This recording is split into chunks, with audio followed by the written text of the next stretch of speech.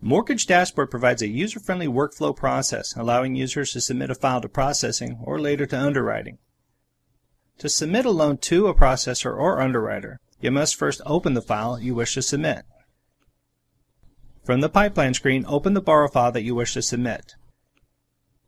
At the top of the screen, in the Loans Information window, click on Edit next to Processor to submit the processing, or Underwriter to submit the underwriting. This will open a drop-down window allowing you to select the user you wish to submit your loan to. After making your selection, you will be prompted to confirm that selection. Click OK to confirm the submission. The file will now appear in that user's pipeline to be either processed or underwritten.